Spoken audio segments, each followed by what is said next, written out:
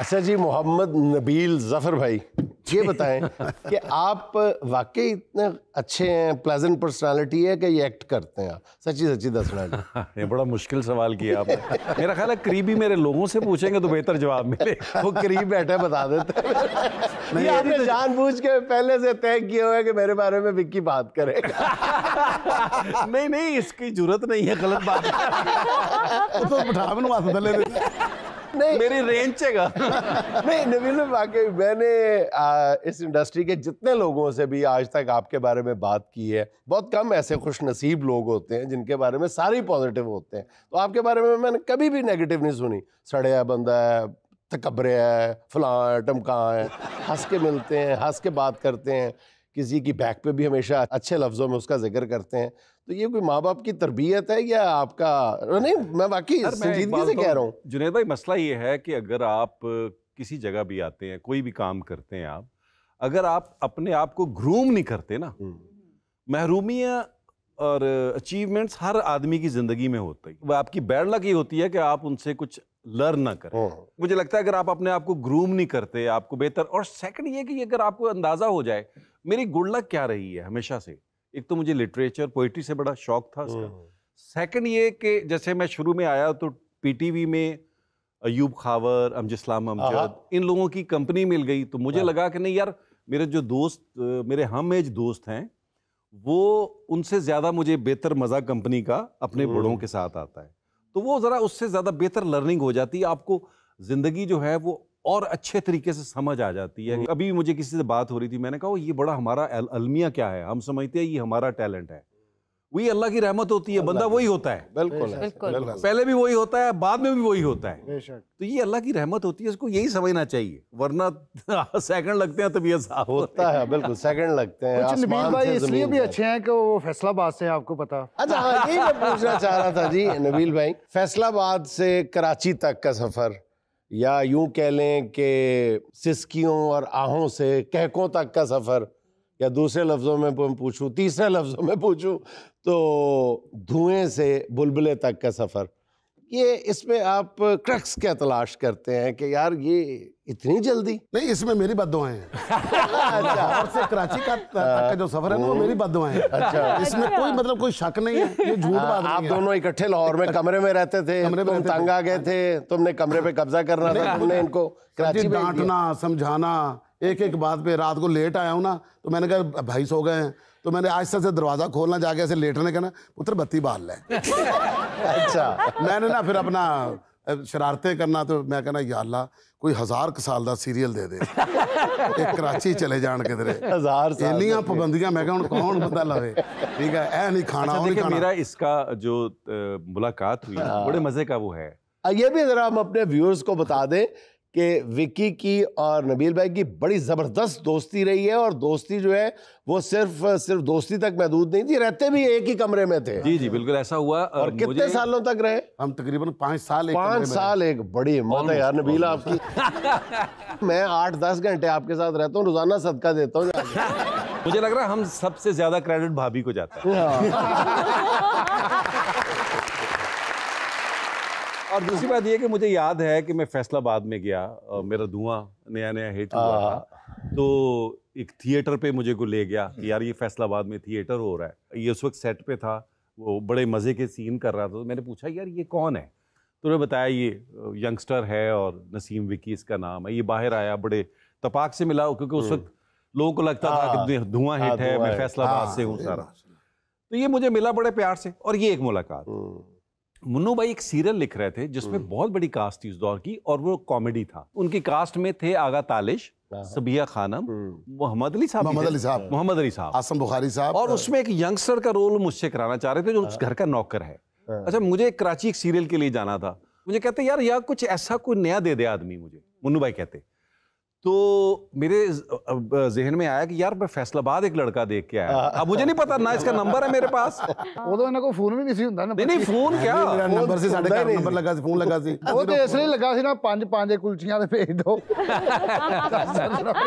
अच्छा बेटा वो तो कुवालियाँ दा राज नहीं सी हुंदा तो बहरहाल वो जी मैं फिर अपने छोटे भाई से कहा मैंने कहा कोई थिएटर हो रहा होगा ढूंढो उसको और उसको मेरा नंबर दे दो। वो जो घर का उस वक्त मोबाइल थे नहीं। हम्म। तो वो उसने मेरे भाई ने इसको ढूंढ लिया और इसको नंबर दिया। सुबह इसकी मुझे कॉल आई। तो मैंने इसको बताया कि यार मैं तुम्हारा ऑडिशन कराऊँगा। वादा नहीं है। ऑडिशन कराऊँगा और अगर उसमें तुम कामयाब हो गए तो उसने कहा आ जाता हूँ मैं कल आ जाता हूँ। फिर इसको मैं ले गया। उसके अच्छा अच्छा अच्छा अच्छा ये फिर लाहौर लाहौर उससे पहले थिएटर करके गया था लाहौर में। हाँ। फिर इसने कहा भाई मुझे थिएटर मिल रहा है मैं आपके साथ वहाँ रुक जाऊँ। अच्छा। तो मैंने कहा आ जाओ क्योंकि स्टूडियो अपार्टमेंट था एक किचन एक कमरा एक बाथ मैंने कहा आज जाओ चलो मैनेज कर लेते हैं। तो उसमें बड़े बड़े लोग आए बड़े बड़े लोग रहते अच्छा थे। वो क्या वाक्य था जब इसने आपकी जेब से पैसे निकाले थे रात को और अगले दिन मुकर गया था कि नहीं मैंने नहीं निकाले फिर पुलिस बुला ली? वो क्या बात है? ये बड़ा वाकया नहीं नहीं ऐसा कुछ ऐसा कुछ नहीं। किताबों में आया एक, हुआ दिन, एक दिन बताया था विकी अच्छा अखबार भी नहीं कह रहे हैं? मुन्नू भाई ने लिखा था वो अपने वो उनका वो जो गिरेबान आता था उसमें।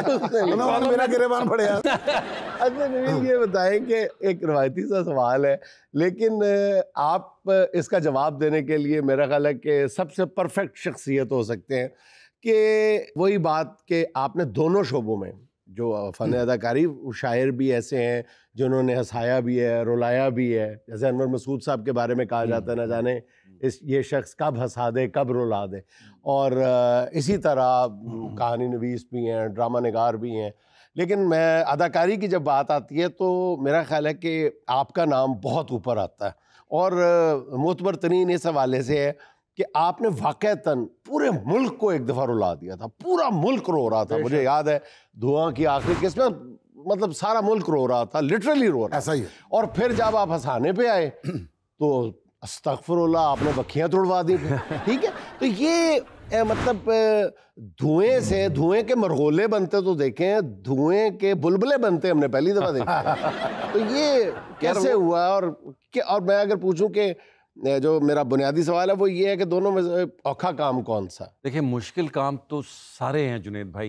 अगर आपने अच्छा करने की कोशिश करनी है ना देखिए बबू अच्छा हो हो। यार बबू प्लीज़ अगर अच्छा करना है। बबू करता अच्छा। क्या है? उससे तो हो जाता है। और यही तो मसला है। नहीं होता। पूछो फौरी तारक जवेद बन गए। नहीं। अल्लाह गरीक रहमत करे ना वो कमाल कैरेक्टर अल्लाह मतलब फैसलाबाद का हमारा वो क्योंकि मे- मुझे पहली बार थिएटर पे उसने डायरेक्ट किया था सस्ता बकरा महंगा खा। अब वो मैं बड़ी रिस्पेक्ट करता था वो और मियाँ बीवी की इतनी लड़ाई है उनकी एक दिन मैंने कहा खुदा का तारिक साहब ना करो ਕਹਿੰਦਾ ਮੈਨੂੰ ਨਹੀਂ ਇਹਨੂੰ ਸਮਝਾ ਮੈਂ ਕਿਹਾ ਜੀ ਕੀ ਹੁਆ ਕਹਿੰਦਾ ਇਹਦੇ ਖੌਫ ਦੇ ਨਾਲ ਮੈਂ ਹਿਜੜਿਆਂ ਨੂੰ ਬਾਜੀ ਕਹਿਣ ਲੱਗ ਗਿਆ ये मेरी जो बीवी है ना, ये समझती है, को मैं कुछ सैमसंग डे ले लाऊं, मुझे देख के लड़कियाँ स्लो मोशन में भाग पड़ती सारे और परफॉर्म कर रहा, और वो मज़ाक कॉमेडी नहीं कर रहा था। अच्छा याद है भाभी शिबा का फ़ोन आया तो कहती, तारक, कहाँ जल्दी आओ। कहते शिबा बंद कर फ़ोन मैं जिन करा के आ रहा जिन कर आ गया अच्छा और उसकी उसकी एक छेड़ थी। उसको ऐसे इसकी बातें करके उसको अब याद कर रहे हैं कि अगर छह आठ लोग बैठे हैं ना तो तारिक का ही होता था कि आके सलाम करके बैठ जाओ। हाँ। मतलब ये क्या बकवास है कि आप हर बंदे को डिस्टर्ब कर दो अब एक चाय पी रहा है कोई कुछ कर रहा है। बाज़ार में हम वही प्ले जिसकी मैं बात कर रहा हूँ मेरा पहला प्ले तो रात में फारिग होके अच्छा हम तो स्टूडेंट टाइप थे तो हम तो बैठ के चुप करके सुनते थे यार बड़े बातें कर रहे हैं। तो ये चाय के लिए ले गए, वहाँ। चिन्नौड़ बाज़ार वहाँ बैठे, चाय पी रहे हैं तो एक बंदे की एंट्री हुई अब मुझे नहीं पता तारिक का, मुझे तो बस ये पता कि एक बंदा इन हुआ है, बारह चौदह लोगों में, उसने हाथ मिलाना शुरू कर दिया। मैं इधर इस तरफ़ बैठा हूँ। ये तारिक के पास पहुँचा है तो उसने कहा, जी। उसने यू किया। अच्छा हाथ मिलाना? ए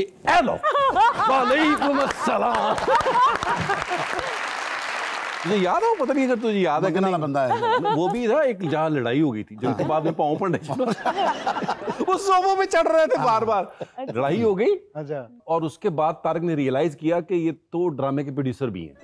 और ज़्यादा बंद हो ज़्यादा लोग हैं। अब तारक साहब आ गए माफ़ी पे। अच्छा। और माफ़ी भी ऐसी कि उनकी दौड़े लग गई हैं। अच्छा। उनके पाँव पकड़े वो कहे तारक साहब। नहीं करेंगे। यार उठ के जरा। अब वो सोफे पे चढ़ गया ना ये वो बंदे। कह रहा नहीं नहीं नहीं। कह रहा नहीं तुम मेरे घर अग ला दोगे मेरे बच्चे बाहर बैठे रो रहे होंगे। पूरा सीन क्रिएट कर दिया तारक ने। वो कहे तारक साहब हमें माफ़ कर दे।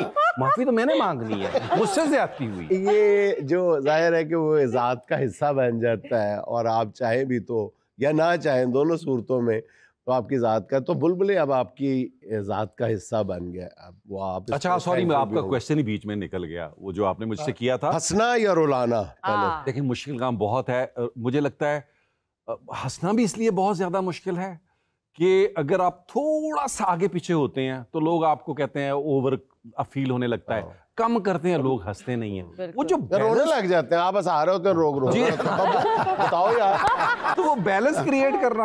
आप उनका लाफ्टर खा चुके हैं। पता बबू मैं तेरे ते औलाद रख रहे हैं। पता है सोच एज तारक टैडी है।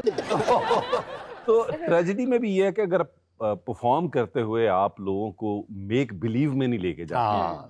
अच्छा मेरा मुझे यही लगता है इवन कॉमेडी भी अगर कोई आप कैरेक्टर कोई भी पोर्ट्रे कर रहे हैं और उसमें अगर आप लोगों को मेक बिलीव में नहीं लेके जाते कि उनको लगे कि ये जो आप परफॉर्म कर रहे हैं ये आप पे बीत रही है। अगर उनको ये लगने लग जाए ये एक्ट कर रहा है तो मुझे लगता है कि बहुत अच्छा एक्टर वो नहीं होता। है। मुश्किल काम। और वही वाली बात है कि अगर अब बेहतर हो जाए किसी तरीके से तो। बुलबुले की तरफ़ आए। बेसिकली बच्चे बड़े होने लगे तो मुझे लगा एक्टिंग से मेरा पूरा नहीं पड़ रहा। अच्छा। 2000 में मुझे थोड़ी एक्टिंग से बोरियत हुई तो मैं डायरेक्शन में चला गया। और डायरेक्शन के साथ मैं प्रोडक्शन में आ गया थोड़ा थोड़ा तो मुझे लगा इससे मुझे कुछ पैसे बचेंगे जो मैं आगे चल के वो मामला होगा। अच्छा लाहौर से कराची जाना जो है मैं 98 में कराची चला गया था तो लोगों को लगता था कि यार लोग तो लाहौर आ रहे हैं। अच्छा। उन दिनों फ़िल्म या इसके लिए लाहौर आते थे। मेरा जो उसमें विजन था या वो ये था कि यार जो प्राइवेट सेक्टर बढ़ रहा है जो प्राइवेट सेक्टर पैदा हो रहा है वो कराची में हो रहा है। हम्म, उन दिनों कराची में सरवाइव करना इसलिए भी मुश्किल था हम्म, क्योंकि नॉर्मल 22 से 24 लोगों की डेथ होती थी उन दिनों। तो वो वाला चक्कर था। तो 98 में मैं वहाँ शिफ्ट कर गया फिर प्रोडक्शन इसमें चला गया। फिर 2008 में नाइन में बीच में मैं डेढ़ एक साल के लिए इंग्लैंड चला गया। हम्म। जब मैं वापस आया तो मुझे लगा मुझे अपनी अपनी कंपनी बनानी है। थोड़ी करनी है अपनी अच्छा। करनी है। उसमें बुलबुले एक दोस्त के पास चार साल से लिखा पड़ा था अली इमरान के पास। मैंने कहा वो स्क्रिप्ट मुझे दे दो मैंने प्रोड्यूस करना है। एक दोस्त और राना रिजवान था उसको मैंने कहा यार ये डायरेक्ट करना है पैसे अभी नहीं है। अच्छा। तो अली ने भी कहा कोई नहीं कर लेते हैं। मैंने कहा अभी पायलट बना के मुझे बेचना है हम्म। उसके बाद हम कर लेते हैं। अच्छा मैंने क्यों एक्टिंग की?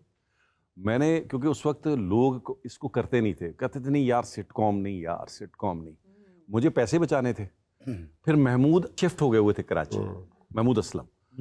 तो मुझे ये था कि चलो यार एक दोस्त हैं। बुलबुले के पैसे भी किस चीज़ के? बुलबुले बेचने हैं तो? तो इसी तरह हमने वो शुरू कर दिया और महमूद साहब जो हैं वो आ गए। अच्छा, ज़बरदस्त फिर बाकी कुछ लड़कियों को हमने कहा कोई करने को तैयार ही नहीं थी। हाँ। फिर एक वो विजय थी आयशा। हम्म। उसको हमने वहाँ से पकड़ा और इस तरह ये कमाल कॉम्बिनेशन बना।